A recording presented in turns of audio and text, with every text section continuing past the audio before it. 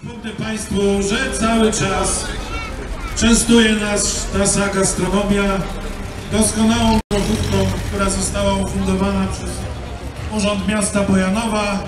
Zapraszamy także do stoisk ze słodyczami, gdzie za niewielką śnionej zielonej skrzyni, która sprzedaje gadżety militarne, bardzo ciekawe przedmioty za niewielkie pieniążki na pamiątkę do kupienia, sorty mundurowe, czapki, bardzo ciekawe przedmioty, które każdy interesujący załogę, okazja przejechać się na naszą trasę wycieczkową po starym bojanowskiej pięknej starówce.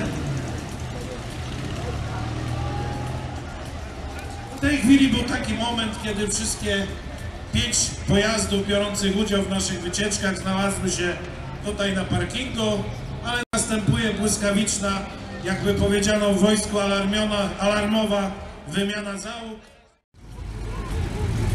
Znajdujące się na naszej wystawie i biorące udział w naszych wycieczkach pojazdy należą do prywatnych kolekcjonerów. Są to pojazdy, które zostały odrestaurowane nakładem sił i środków własnych kolegów, którzy się, się tym interesują. Są to pojazdy, można powiedzieć, niedotowane przez żadne władze pierwsza, kolejny raz Chip Willis, a podjeżdża już Czapajew, podjeżdża Kibelwagen i podjeżdża kolejny Willis.